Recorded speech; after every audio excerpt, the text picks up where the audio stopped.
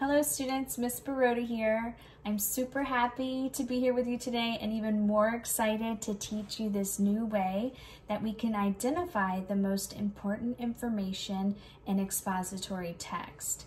Now we've been learning a lot about expository text over the past month and different ways that we can find the most important information in the text. And authors use different ways to um, show us that information.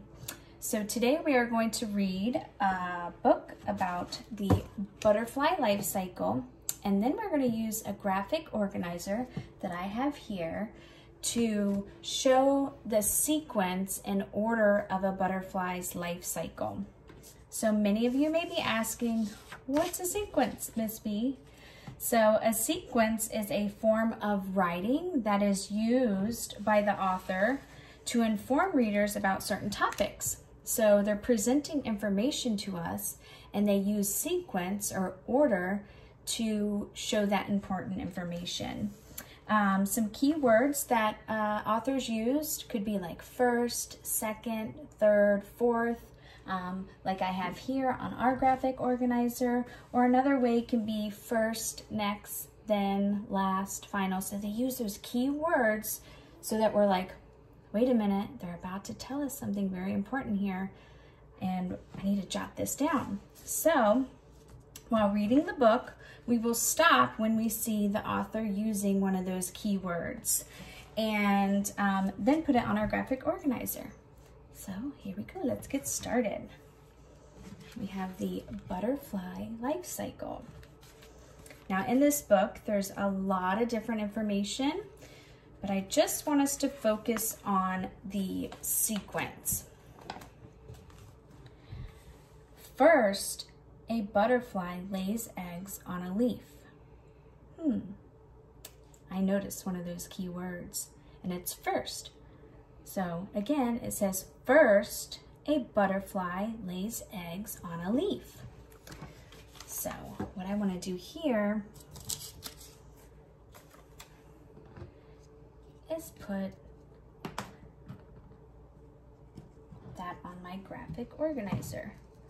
So now in the number one spot, the first spot, I have a little egg on a leaf. It's right here, it's really small, but it's an egg that the butterfly laid.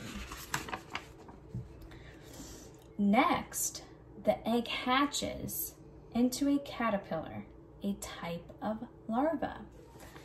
So there's another keyword, next. So what I'm gonna do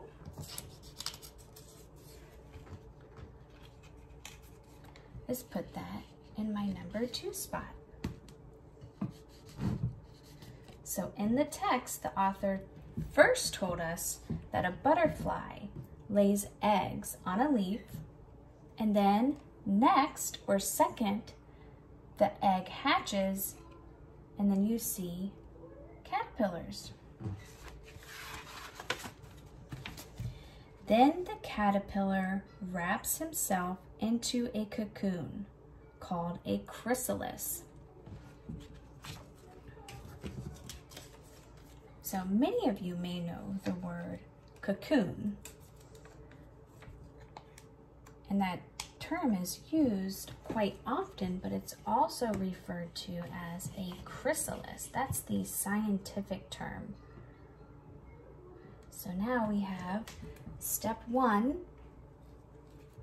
where the butterfly lays an egg on the leaf. Step two, the egg hatches, and then you have baby caterpillars or larvae. And then the caterpillar wraps himself in a cocoon. Inside the chrysalis, the caterpillar undergoes metamorphosis. Metamorphosis means that the caterpillar is going through change. Finally, the butterfly emerges from the chrysalis. So finally is another key word here. So we're gonna add that to our graphic organizer. into the fourth spot. So we can see here that there's four stages of the butterfly's life cycle.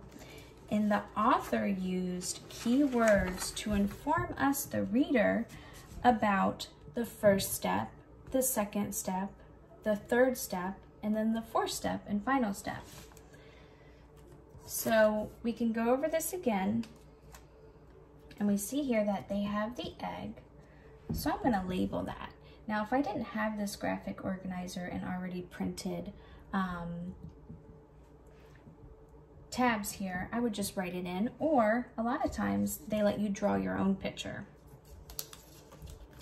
Next, for a second, the egg hatches and turns into a caterpillar.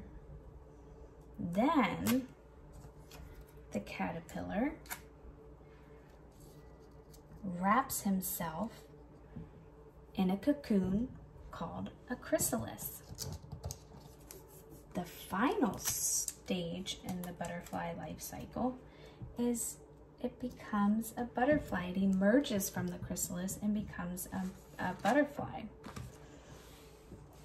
Graphic organizers like this um, allow us to put down the information so that us, the readers, can remember.